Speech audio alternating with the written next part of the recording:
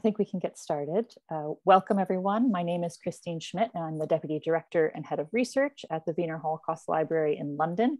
On behalf of the library, we're really delighted to welcome you to tonight's event and to welcome Dr. Bastiaan Willems, who will present findings from his new book, Violence in Defeat, the Wehrmacht on German Soil, 1944 to 1945.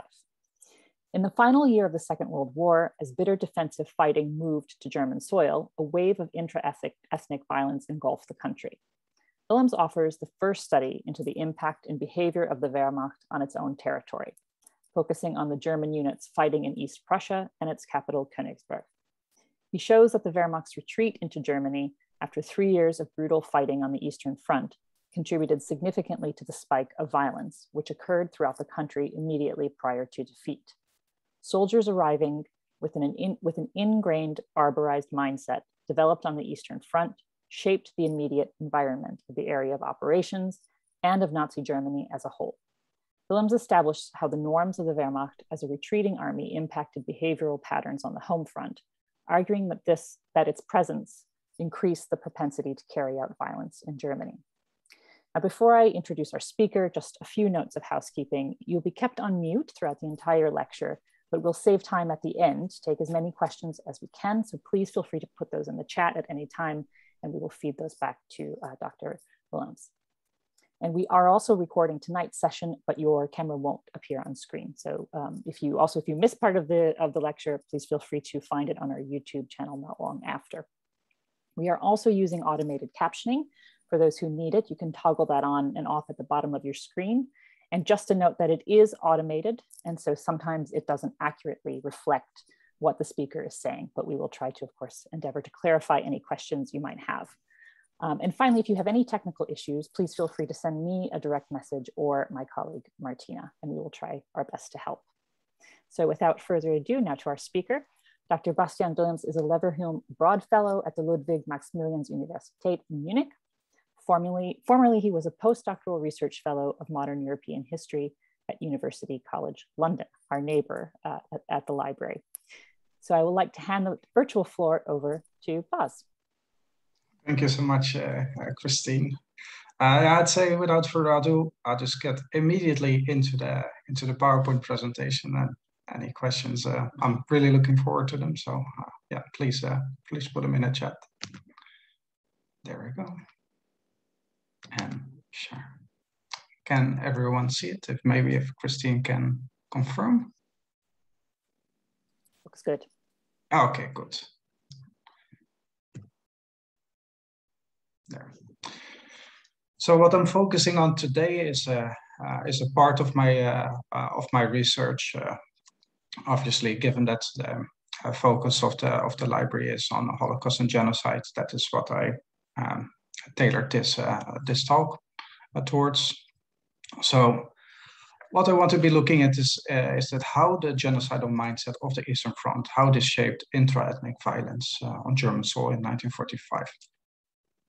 So the purpose of this talk, um, and this is already what uh, uh, Christine noted, is like just to tie the fighting of the Eastern Front, which happened between 1941 and 1944, uh, closer to the fighting on German soil in 1944 and 1945. And show that as soldiers developed uh, like an Eastern Front mindset, if you will, uh, during their stay in the Soviet Union, this permanently altered behavioral patterns that would also impact uh, the fighting during the defense of, uh, of Germany. So now, why do I find this important? So now the fighting uh, in the Soviet Union and the fighting in Germany uh, share many of the same actors, of course, notably the army and the SS. Uh, but despite their obvious presence uh, on home soil during the violence in Germany, uh, it's awfully, uh, often mainly explained as being caused by uh, the radicalized party member, sort of like the linchpin of, of, of, violence. So, put differently, even though the army and the SS were at the center of mass violence in the, in the Soviet Union, these actors are hardly considered when it uh, concerns uh, the spike of intra-ethnic violence uh, in Germany in, in 1945. And with intra-ethnic violence, I mean German versus German violence. Um, so the fighting in Germany um, uh, was part of a very long series of battles uh, for, uh, for the German soldier, So this is why I choose here this picture. This is um, uh, taken in in Rostov, so you go uh, like around Rostov. So you can imagine, and you should uh, keep in mind, of course, that um, many German soldiers, the hardened veterans, for them, this was basically just the last of a very long series of defensive battles. Um, so they would see that uh, continuity. And if you were ever to look at um, uh, memoirs from that time or uh, divisional um, uh, uh, diaries, war diaries from the war, they tend to be called something along the lines of like um, division such and such from 1941 until 1945. There isn't a, a clear break, obviously, in 1944. this is more like an historiographical divide. So all that being said, uh, this is why I think we should actively consider the role of the Wehrmacht on, on soil. So the structure of this talk. So the first part deals with the ways in which this Eastern Front mindset developed between 1941 and 1944. Now, I think this is uh, familiar to some, if not most of you, uh, but I do find it necessary to flag up some of the issues connected to the defensive fighting in the Soviet Union uh, that also manifest themselves during the defensive fighting in Germany. So here we have a map so that we can uh, situate uh, the area that I'm focusing on. So this is East Prussia here with uh, attached parts during the Nazi rule. Here the same East Prussia, but just now situated uh, as part of Germany. Uh, so the second part uh, shows uh, where we find proof uh, of this changed mindset during the fighting in 1944 and 1945. So focusing on the continuities and behavioral patterns among the Wehrmacht, the attitudes to evacuation, attitudes to the civilians, total war, and attitudes to morality and law. Now, if you think, why don't I know the province uh, East Prussia, well, this is obviously fairly obviously it no longer uh, exists. Today it's divided between Poland, Russia, the Oblast Kaliningrad, and Lithuania in the north. So Memel is today, for example, the city of Klaipeda, and Königsberg is the city of Kaliningrad. So we start with the, the Eastern Front uh, mindset, and here I'm just going to be very brief, if only because tomorrow we're going to have a very good talk by Alex Kay, who will do this much, much better. Uh, so we start, of course, with the criminal orders of 1941. Um, and this, uh, like how this changes the, the attitudes towards uh, genocide. So you see already that German soldiers really start to behave very differently towards uh, their uh, direct environment and the people living in it. Most important, especially with what I'm talking about today, is a deep distrust of the population and fear of partisans. We'll turn to this uh, shortly. Uh, there's incredibly strict discipline in case of uh, uh in case of uh, uh, defeatism. Of course, on the other hand, German soldiers are allowed to vent their anger and frustration on their direct environment. so you have incredibly high casualty numbers on the one hand, and Kameradschaft based around uh, like this, this core units and a sense of hyper masculinity. I see that Ed Westermann is uh, in the crowd. So, and drinking bouts, as you see here. Um, uh, on the other hand, and in the middle, you have a picture of uh, geese being uh, uh, taken out of the yeah, out of the local population, and in the left, you see pictures of the Red Army soldiers who um, yeah, most of them, as we all know, uh, were to be um, killed soon thereafter. So now uh, to the attitude towards uh, civilians. So um, in 1941 and from 1941 onwards, you see that uh, Soviet civilians are uh, used as a, as a labor force. We're talking hundreds of thousands, if not millions, of uh, Soviet civilians are used as, as, as laborers or forced laborers. So, and the Wehrmacht, uh, the German military, had to draft massive numbers of uh, Soviet uh, civilians um, to basically help with uh, auxiliary tasks. Uh, quite famously, uh, they are also helped to combat partisans. Um, here we talk a little bit about that. So and what the Wehrmacht soon realizes, or like members of the Wehrmacht soon realize, is that um, the Soviets are truly fighting a, a, total war, and they will actively use civilians in the defense uh, of their cities. So, for example, at Leningrad, you have massive uh, um, uh, mil uh, militias that are being supported, and they know of this. They know that at Kursk, two years later, civilians uh, dig a series of defensive positions that is basically unrivaled at that point, and that really changes uh, uh, the course of the war. Partisans, of course, truly disrupt the German rear areas, and much manpower has to be allocated to combat them. So a lot of German soldiers now uh, have to perform tasks with which they uh, uh, are unfamiliar with, or um, uh, which they didn't know they would uh, would be would be performing. So uh, this extends well beyond like a, the distrust that emerges um, is well beyond just a man of fighting age, but basically everyone who's considered uh, capable of helping partisans, which is effectively everyone. So, what does this mean? Um, there is uh, there starts to emerge, let's say, a begrudging respect for the Soviet enemy. So, and just the awareness really that civilians can change the course of the war, and this is what uh, exactly what happens in uh, uh in the Soviet Union. Now, here we are in 1943. So at, at, this point, like the first uh, uh losses are uh, have uh, of course occurred between late 1941 and 1943. And from 1943, of course, sort of a, a permanent retreat sets in, if you will.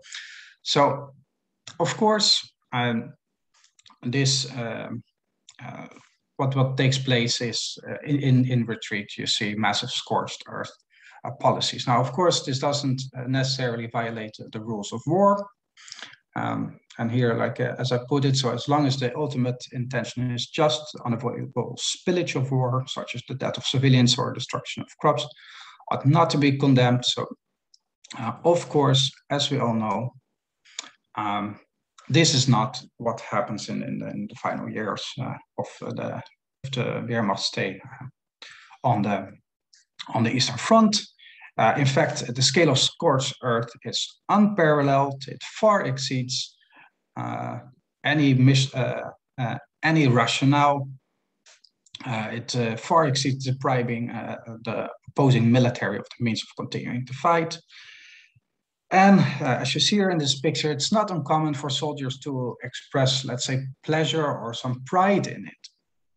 So, uh, of course, also in 1943, 1944, um, uh, you see again sort of like a spike in, uh, in acts of genocide. So the retreat offers sort of like a final opportunity to deal with uh, those people that have long opposed Nazi rule. So as a way to get rid of useless eaters, so you see large scale evacuations, you see deportations, uh, both of goods and civilians. Now, all of this really doesn't change um, the self-image of, of most soldiers, although there are some soldiers that reflect on their behavior. But by and large, given that they uh, feel that they are acting in, uh, in a way in which military necessity uh, is uh, uh, being adhered to, they most of them, the vast majority, considers themselves to be a decent, uh, decent soldiers. Now, uh, now we move to uh, uh, to German soil in the um, in the second half of 1944. And what I wanted to start with here is uh, what remains in place, because what we tend to do is we tend to focus on, on, on the differences, but I think it is important to, to stress what remains the same. And of course, uh, to start with, it's the entire German military structure. Like the entire organizational structure remains in place. Of course, uh, divisions have been absolutely, absolutely battered. Uh, have been really uh, bled dry in, in many occasions, but still uh, there maintains a, a, core of seasoned veterans, and normally it's around these set, uh, around these veterans uh, that you you build your uh, your your division. So young recruits or old recruits at some point, of course, uh, they will look up to these veterans um, and style their uh, behavior um, accordingly.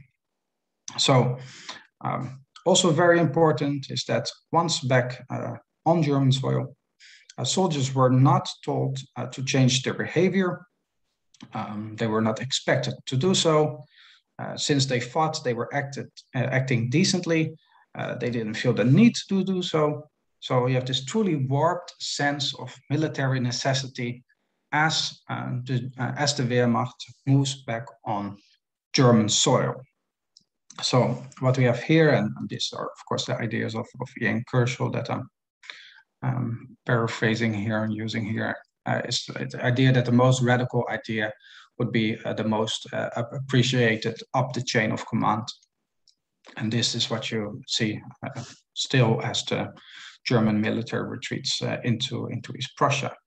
So German soldiers, they consider themselves to be the ones who know the proper use of violence, uh, which means, as we will see in a, in a short while, uh, this also allows them to disregard the civilian concerns and the objections that they, uh, that they very often voiced. What also, of course, does not change is the enemy in front of the German soldier, which remains, of course, the, the Red Army. What this means is the motivations to fight, uh, these do not change. Uh, so the attitudes towards genocide, they don't have to change. So propaganda sticks to the same themes.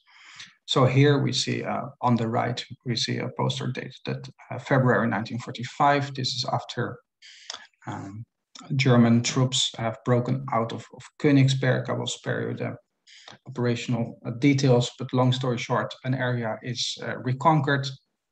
Here, um, German soldiers find proof, so to speak, of uh, crimes of, uh, of the Judeo-Bolsheviks, and they will um, attach a, um, um, yeah, like a campaign, sort of like a very classical uh, campaign that we have also seen in, in the earlier years, where sort of like this uh, Judeo-Bolshevik stereotype, in this case, a skeleton with a knife between his teeth, uh, killing a emaciated uh, German woman. So, of course, uh, this is unfortunately all things we have we have seen before.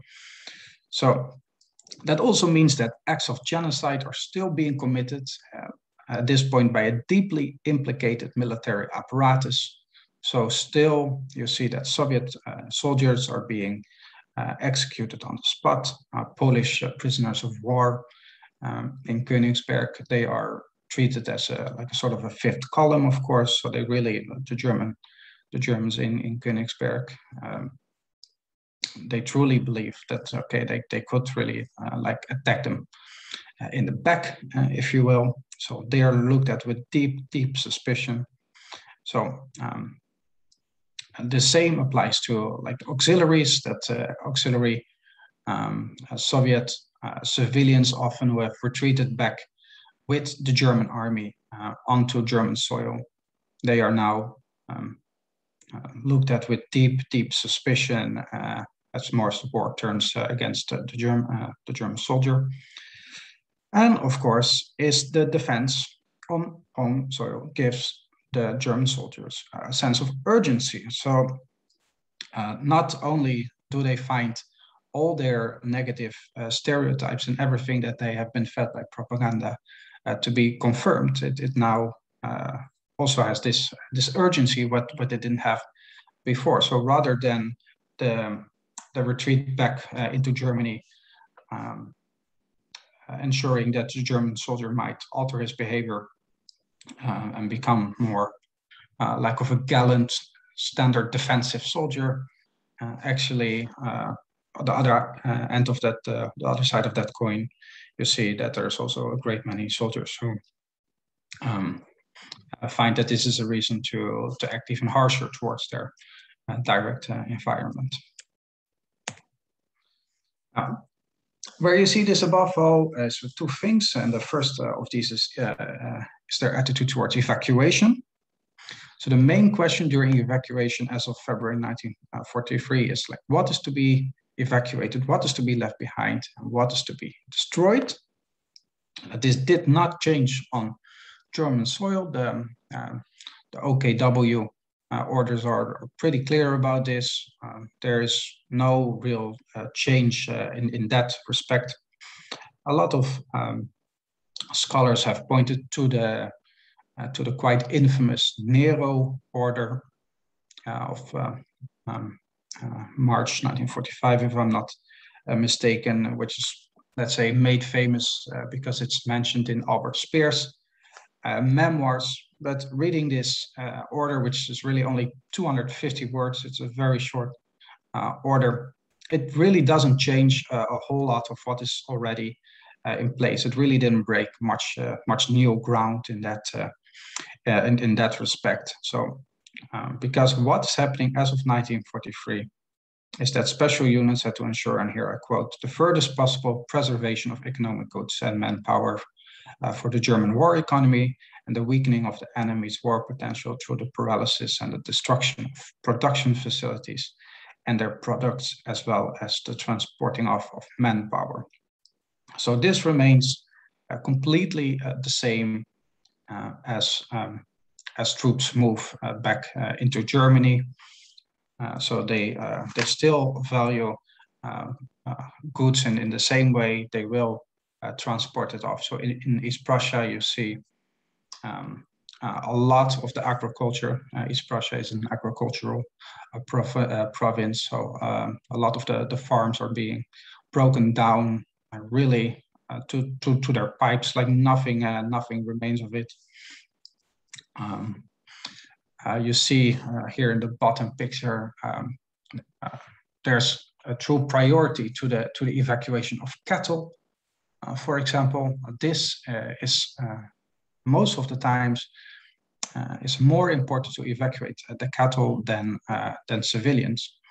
Now, I know that sounds uh, quite uh, quite quite a damning statement, uh, which you know, of course, it is. Um, but what the um, the military and the party uh, together realize, because there are talks about this at, at the highest level, is if you're going to evacuate the German civilians, like where are you going to evacuate them to?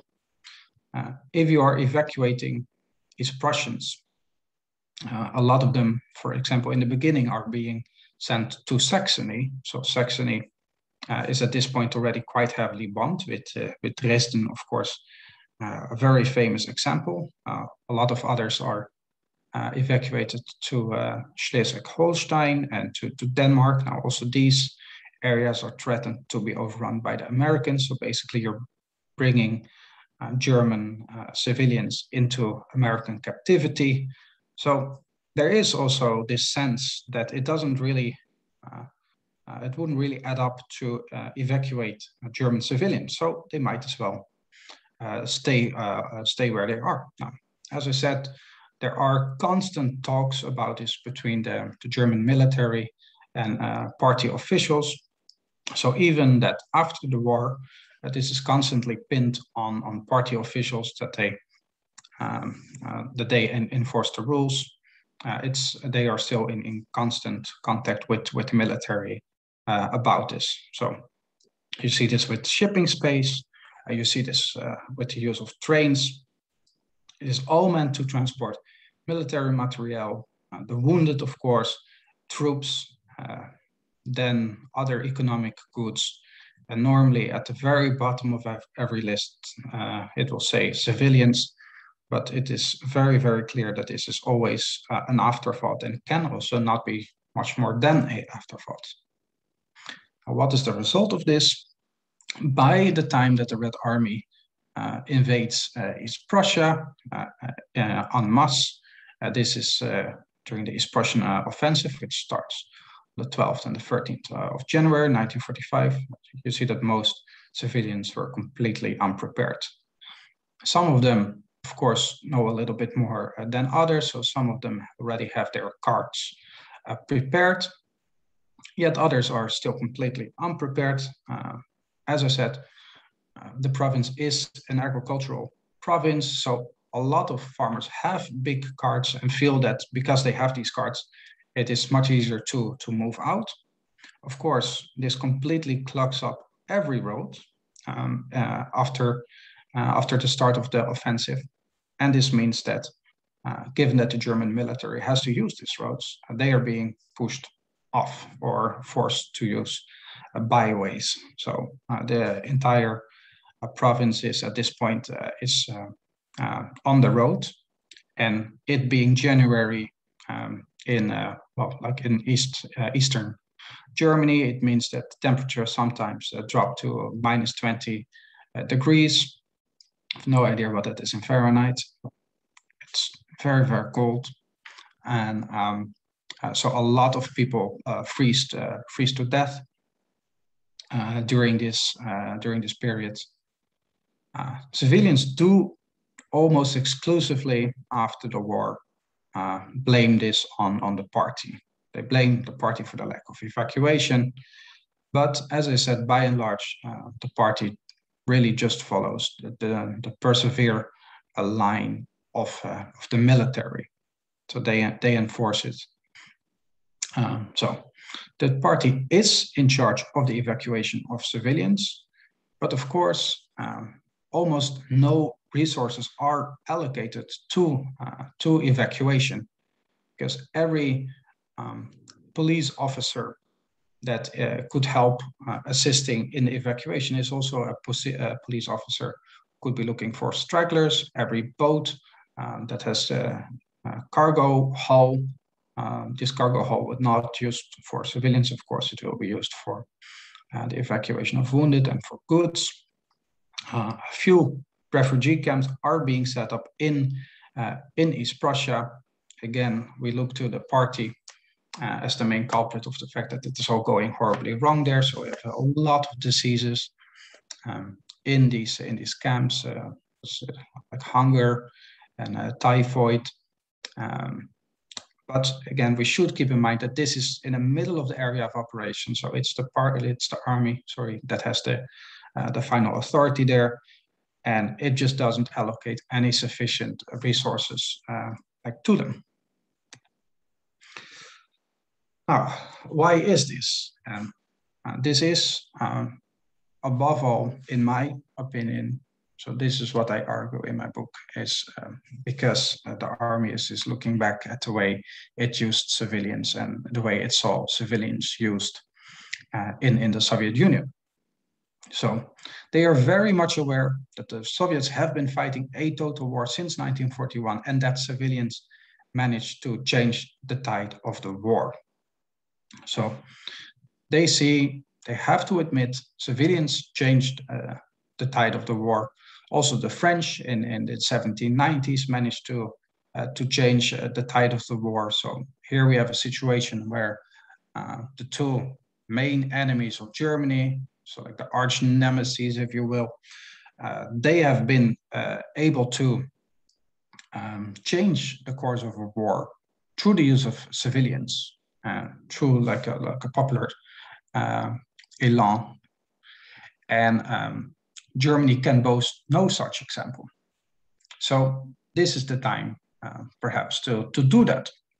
Another very important point, and I think this is uh, uh, known quite a lot better, is the idea of, of the stab in the back. So um, after the First World War, you have the, uh, the German military that really, really manages to convince itself that it's not defeated on the battlefield, but has been stabbed in the back by the home front. So you see already in 1943, um, propaganda minister Goebbels has to start a campaign saying 1918 and 1943. It's not the same.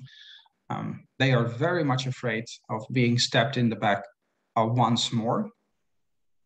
Now, uh, at this point, you can therefore um, kill two birds with one stone because you now finally give, uh, through the fact that you're defending your own territory, you can give uh, German civilians that chance, so to speak, to uh, um, uh, to, to show their to show their value. So German civilians are encouraged to defend their own territory, and here we sort of uh, are uh, familiar with the propagandic boast, so like until the last drop of blood or until the last bullet, whatever you want to call it. Uh, of course, the collateral damage of this all, like both to property and to civilian life, uh, this is no longer uh, a main concern. um, the German army knows that it is fighting, it knows that it has to defend its territory, and is now actively uh, using uh, civilians to, uh, to help with that. So uh, here I'm looking at the, the fortress command of Königsberg. We will return to this again uh, briefly, uh, which consists of the party and the army. it's contrary to what happens to evacuees, people who are on the move through East Prussia, you see that in Königsberg, as long as people promise to stay put or do stay put, uh, food is being arranged for them, uh, shelter is being arranged for them, medical care is being arranged for them. There's even um, the idea that uh, they try to maintain a sense of uh, normality. Cinema remains open. Uh, banks actually reopen stores, um, uh, extra stores open. So some stores were closed, are now reopen. Even the university gives some lectures here and there. And uh, yeah, so they really try in uh, in Königsberg, which is really a city at at the full front line for for over two months, to keep the sense of normality. Now, how do they how did they do that? Um, above all uh, through the use of, uh, of the Volkssturm. Now, the Volkssturm is a people's militia. So these are boys from uh, the age of 16 until men of the age of 60. They are fully deployed uh, in Königsberg, so both young boys and old men. Uh, so here you see a picture. Uh, if you look carefully, you see that these are actually quite old men in that picture. But this is a propaganda picture. It's even, uh, this is original color, so this is not colorized or what have you.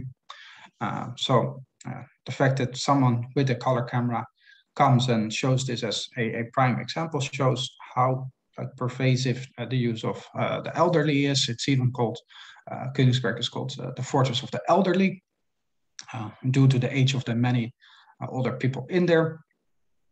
And then you also have very young um, boys, and especially with the young boys, um, uh, you see that they are above all used in uh, offensive operations. And here you truly see how calculated the attitudes of the uh, uh of the military are, because what they do is they hype up these young boys, and these young boys they try to to prove themselves.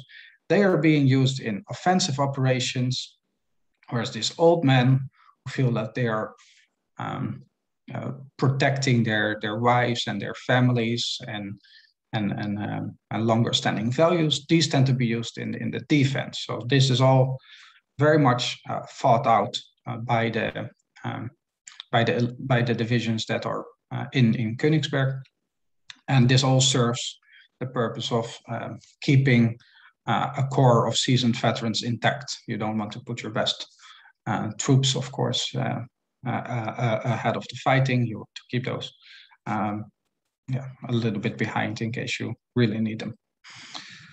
another point, very important point, is is Festungsdienst or fortress servants for all civilians. And as you see here, it is for men, women, and children um, for four hours per day. Now, what does this mean in, in practice? Um, uh, the Volkssturm units, uh, you don't want your Volkssturm men, of course, to do um, tasks that could be uh, could be done by someone else. So you have, for example, every Volkssturm unit has a, a, sewing room attached to it. So whenever clothes needs to be washed or clothing needs to be patched up or so, like there are a few women doing that. Of course, this all frees up men uh, for the front. Um, women basically um, occupy all the important functions in, in, in the hospital. So uh, again, all with the purpose of freeing up men for the front. Um, we have an account of, of a boy who is asked to pass artillery coordinates and uh, has to use his uh, sled to haul grenades um, or help mine a bridge. Uh, his, his grandfather uh, has to help in a, in a tank um, repair depot in the, in, in the city. And again, all this is meant to free up men to, to, serve, uh, to serve on the front. And what the, the commander of, uh, uh of Königsberg tries to create uh, this is what he communicates in the in the newspapers at the time, is to create uh, like a Kampfgemeinschaft, so like a, uh, a, fighting or battle community, or like a Festungsgemeinschaft, so like a community, like a fortress community, where everyone basically with the purpose of you're looking the person in the eye who is defending you and uh, the person defending is to look uh, is looking to the person is defending. So really uh, you're all uh, depending on on each other. Now obviously um, this comes with uh, uh, with, with with massive massive downsides to to people who are not used to to this sort of mentality which which are most people like most civilians so the entire city, of course, is put on a martial law, which happens uh, overnight, and this happens on 28th of January, when and uh, when Königsberg, when the city is uh, uh, is encircled. Um, it is impossible for civilians to to adjust to these new laws with which they are completely completely uh, unfamiliar in in such a short uh, time. So imagine um, you fleeing as, a, as an old man, you go into hiding because of course you do that. You are a, you know, like, like a 60 year old, 60 year old man or, or young boy, um, or you go uh, into someone's house to maybe find some food, all these sort of things. These are all very logical things if you're a civilian. But if you are a soldier in, in, in the German Wehrmacht, these are crimes punishable with death. So uh, you see a lot uh, of summary executions happening in the uh, in the first uh, weeks of, uh, of the siege, uh, particularly. Um, what you also see is that, as had happened in Ukraine, for example, and in Belarusia, is these are not sort of behind the scenes executions. This is what you, for example, see in, in the movie uh, downfall, like like the famous movie about like the last days of Hitler, where it's uh, where they sort of indicated a lot of this is done by scheming, bloodthirsty men, and of course this happened at times, but very often, and in fact in Königsberg quite a lot more, it happens uh, it happens in the open. Uh, cases are read out, uh, and this is all uh, known to everyone in, in in in the city. Um, now, of course, uh, not only martial law in Königsberg, but in the entire area of operations, which means that we see these uh, summary executions all throughout East Prussia and um, throughout Germany, for that matter. What I would like to stress um, is that not entire uh, Germany is under martial law, but of course only the areas that are just behind the front lines. So this is also a big difference, uh, for that matter, with the First World War, when the entire country was put under martial law. This doesn't happen in the Second World War, which is also why for civilians it's so much harder to, to adjust to it. Uh, so in 19, uh, 15 February 1945, you have the quite famous or infamous decree on the establishment uh, of summary courts, which extends the right to execute German civilians uh, to party uh, to party members. Now, there should be no hint of doubt that the um, that the party was heavily uh, inspired by the military. It, it flags it up literally in, in, the, in the preamble to the to the decree. It um, and uh, actually focuses on East Prussia. In East Prussia, you have a commander fighting by the name of Rendulic. Uh, he is um, he's quite uh, strict, uh, to put it mildly. So he executes hundreds, if not thousands, uh, of soldiers under his uh, under his command. Bormann, um, uh, like one of the highest party members, of course, uh, mentions uh, his admiration for this policy and uses this to to pass this on to a Reich Minister Otto Thierack and says, "We want something very very similar." and this happens in mid-February.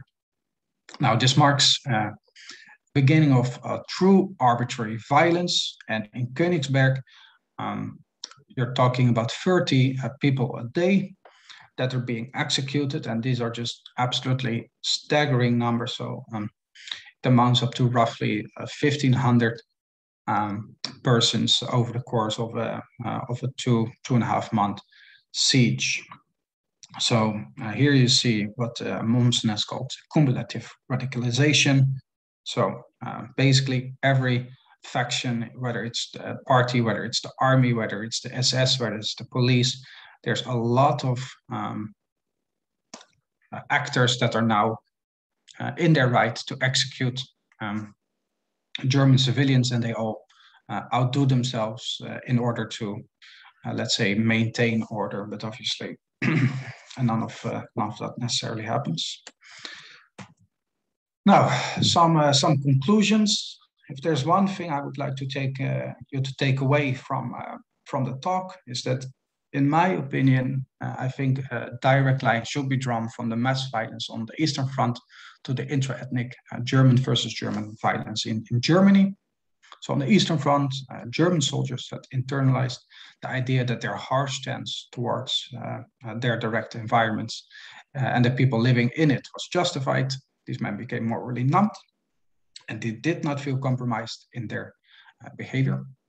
Uh, they did not feel uh, the need to change their day-to-day practices, which meant that although the skill and intent of the uh, destruction differ as they uh, move back to Germany, it is rooted in the same uh, behavioral patterns. Uh, it affected the people they had sworn to defend. So during the fighting on home soil, the German population had to earn the right to be defended. And it meant that as early on the Eastern Front, human life was worth preciously little, resulting in uh, violent and inhumane policies that now targeted their fellow Germans. And I will leave it at that. Thank you, Bas. Thank you for that um, really fascinating lecture. Um, I just remind everybody, we are taking questions and comments via the chat, and please feel free to, to send those to me. Um, if you you may have something directly to Bas already, um, but I've also got one that's come in um, from Ed Westermann, whose work you referenced earlier um, about alcohol and genocide, and obviously encapsulated very well in that image. Um, so Ed is also thanking you for a fascinating presentation. Um, and he's asked two questions. So let's maybe start with the first one. Could you speak to the way in which this warped sense of military necessity, which you described earlier, affects actions taken by these men with regard to women. Um, so he's, I think, obviously the, the sort of gendered aspect to the violence. And the second question um, relates to the photo with the caption referencing the 1940 film Jud Süß, um, which he says is an interesting manifestation of Nazi propaganda in the soldier's own words. So can you- Sorry, could, could, could you repeat that? Sure, I, sure. I, so I, I think you- So the, yeah. the, um, photo with the caption referencing Jud Süß um, is, okay, an, yeah. is, an, interesting manif manifestation of Nazi propaganda in the soldier's own words. So if you could speak to this phenomenon in more detail and its effect on radicalizing behavior. So two questions from Ed. Thanks, Ed. Yeah, with uh, to start with with the Süß um, picture. Um, this I, I, came across by by chance, and this comes actually uh, from a from a police unit uh, operating in uh, Belarus. And um, what is incredibly interesting about this picture is uh, like it is part of a, a larger set uh, of them, where you first see deep discrimination on, on on page one of a of a photo album, and then the next page is quite literally what you see uh, later in, in the PowerPoint, that they now start uh, setting, uh, uh setting alight uh, an entire village. So there is indeed this, uh, yeah, like the, the, the, start of this dehumanization, what you see among the men, this very deeply ingrained um, yeah, attitudes like racist attitudes, which on, on one hand sees them indeed uh, like using this let's file anti-Jewish uh, language and stereotypes, and uh, which then results in uh, yeah like like in this behavior. I, I, think there's there's yeah like as far as direct lines go, like to me that that was yeah like like such a like a shocking series of pictures because it's it, it really yeah like it, it draws basically that that direct line in that in that behavior. Um, uh, your first question regarding the, the way that they behave towards women, yeah, um, I think the, the the rape of, of Soviet women is is becoming better and better and better known, of course. But if it comes to East Prussia, we tend to, of course, first look at the Red Army um, um, raping uh, raping German women. So women always at the yeah short end of the, of the stick in the in that regard. Um, but you absolutely see that uh, in uh, uh, in uh, in, um, in in their attitudes. Like this also uh, this absolutely uh, also continues in in a very similar way. You have soldiers referring to women in in Königsberg as Festungsbrauten, so fortress brides. So they they use basically the exact same uh, language. And if I may uh, use what I find to be like one of the most baffling uh, examples, and uh, I'd like to stress that this is an anecdote that, as far as I know, has not been put into practice. But um, the German military uh, really fears because all these stories start to, to come in about Red Army soldiers raping German women. Now you think, let's evacuate the women. That would be a fair idea. But of course, you need those women in the defense of your city. So now here comes the idea of the, of the Fortress Command. And here you see how morally numb they are. They come up with the idea um, to uh, have all German soldiers um, have sex with German women so that once they are, when they are, would be raped by Soviet soldiers, at least they would already be pregnant of uh, racially pure uh, Germans. So like this is where their their mind goes. So it is it's yeah it's this completely perverted idea of of, of masculinity that yeah that that completely yeah warps uh, all, all all these yeah yeah, uh, behavioral patterns towards uh, uh, towards women in this respect. And um, thank you for that. That's a those are really full answers. Um, I'm just I'm sorry. I was just thinking about what you just said. It's quite it's quite um, interesting and of course disturbing. Um, yeah, very disturbing. Question uh, from David. Um, did the situation continue after the Allied occupation of Germany? So, sort of, what is the kind of temporal bounds around the you know the violence that you describe? Um, well, what you see, well, well, I cannot uh, speak obviously for, for the rest of Germany, and, and East Prussia takes a very peculiar place here because um, it is immediately put under Russian administration, and all um, German soldiers are, are, are taken prisoner, but also uh, most civilians. So basically, all these behaviors are put to a stop basically immediately uh, by uh, by the Red Army. This is not out of the kindness of their hearts, of course. This is because of uh, uh, of they of the true need to uh, control what they consider to be sort of like the the hornets' nests of, of, of Prussianism. So like obviously also the the Red Army has its fair deal of uh, like uh, um, uh, propaganda that is just as toxic, but the other way around. So in, in East Prussia, that behavior doesn't uh, continue to to the same to the same extent. But what you do see, and I think that flies a little bit under the radar, is that in 1946 and 1947, um, because the German military has basically just taken out everything out of East Prussia, um, there uh, there cannot be, no, not be effective agriculture in the, in the province anymore. So all these defensive lines are made right through fields. Uh, farmers are being asked in 1944 already to um, uh, to help in the defense, so they cannot sow their uh, like their spring sowing uh, all these things. Uh, so like it, it is it, it is a famine waiting to happen, and it does happen. It happens in in in, uh, in 1946 and 1947 in the very same way as it happens in as in the rest of the Soviet Union, because of course now this area is, is part of the Soviet Union. So you see this massive famine uh, caused by the German military in yeah like in the Western Soviet Union, Belarus of course. famously and, and Ukraine, but this also extends into East Prussia, where uh, basically uh, the same things are happening. So I hope that answers. Uh, I hope that answers the question. Thank you. We have a question from Stephanie Rauch. Um, how does the violence in Königsberg compare with intra-ethnic violence elsewhere in Germany? And also, if I can add the question, why did you choose to focus on East Prussia? Uh, I, well, a lot of people tend to think that I must have family or something like that, but none of that actually. Uh, it's I always found the, the the the Eastern Front interesting, just you know, as you know, young young guys do, I guess. And uh, but I also uh, um, you know, growing up in the 90s, sort of like where there still was sort of like in 1995 is like 50 years of liberation. I remember that very distinctly.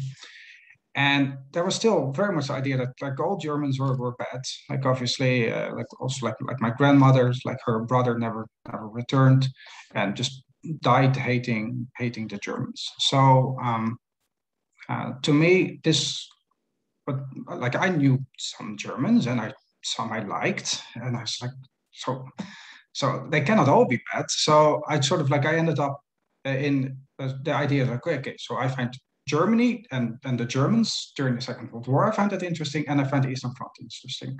So as a result, I sort of ended in ended up in East Prussia. There's nothing profound or um, familiar uh, to that. So that is to to to that uh, part of the of the question. Uh, well, um, um, Königsberg and the, the area around Königsberg um, is is particularly violent.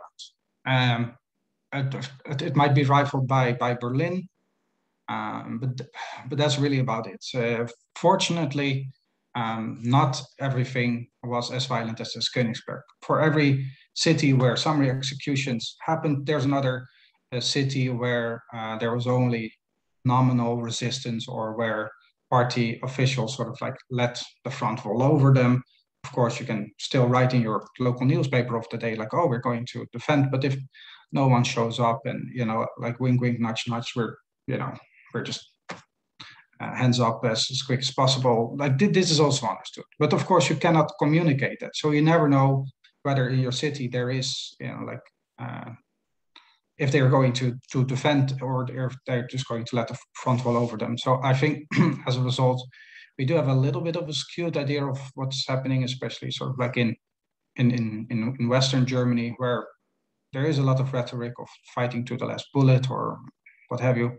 But push comes to shove, that doesn't really happen as much. Uh, obviously, in in Eastern Germany, where there is the Red Army, that is really considered to be like almost zombie-like, uh, like in the way that we we think about zombies.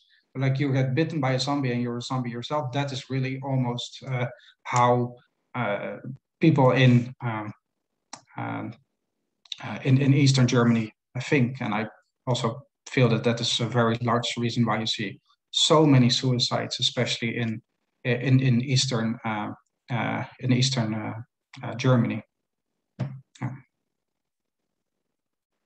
Thank you.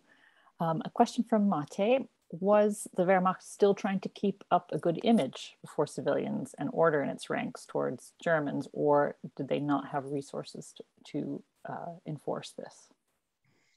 Um, the, well, this I, again, it depends. Like, well, like I know this is sort of like a, like an academic's answer, but like it depends on how you define like the image. But uh, um, uh, they, they think like they they like many of them felt they did because they were still uh, what they thought was a good image is that of a masculine uh, soldier fighting to to the last bullet. That they thought that that is you know that is how you want to present yourself and that is what i am as a soldier. Um, a lot of civilians were uh, thinking and, and saying also to them the exact opposite like wouldn't it make more sense to uh, to surrender of course? And they like so and they said oh yeah but that is not yeah like that, that is not what the what a german man does. So therefore i i do not do it i do that do not do that. So again this uh, this can really differ at, at, at an uh, person to person. Like a Volkssturm um, man has this much less of course than a uh, uh than a hardened veteran. Uh, but if you for example are a Reichsdeutsch so uh, all of a sudden quite a lot of germans uh, remembered that they were actually speaking a little bit of Polish or like maybe a little bit of Lithuanian, or now uh, also thought like, oh, wait a minute, I'm actually Austrian. I am not even German. So, and, and these men would also uh, surrender a little bit uh, uh, earlier or so. Um, yeah, like I think what is just part of, of, of, an army that's being defeated is that all these small peripheral things, they uh, like they become more uh, apparent. So you, you see a lot of more infighting. So behind the scenes, you, you do see like it, it breaking down, but yeah, this were keeping a brave face. This is, is how I would describe it, and whether that is good or bad, like that is that is for you to uh, uh, to to decide how, how you want to yeah to define it. Thank you. And there's a question from Janice, uh, who also agreed that it was a fascinating talk. Um, and and Janice is asking uh, a bit of a broader question about the difference between attitudes and behavior of the Wehrmacht and those of the SS. And obviously, you know, it's sort of hard to sort of lump, you know, kind of both of those groups into uh, a single uh, sort of category. But um, if you could talk a bit in general terms of some of your about some of your observations. Yeah, no, I mean, like this, this really gets to, to the core of, of what uh, uh, of, of what is in, important. And in German, it's the difference between Haltung and Stimmung. Yeah? and uh, like so the two uh, to a, a, lot of commanders they say we don't care what your stimmung is like uh, like what what what, what you know like uh, Schörner one of the most hardened commanders like stimmung is, is for when you walk in the park and I am not at all concerned with your like like with your stimmung like the only thing that I want is like how you are at, at the front if you feel good at the front uh, uh, all the better for you but quite frankly, the only thing that we need is that you have a, you know, like like this this military attitude towards um, uh, just defending your own uh, position, and um, uh, yeah, like obviously this this leads to massive internal uh, conflict along a great many soldiers.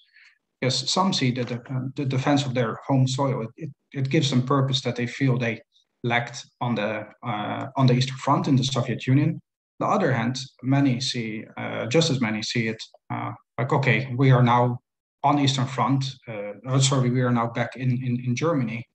This is really just a sign that we're about to be defeated. So they can read the, uh, uh, the, the, same situation. They can read it completely, completely uh, different.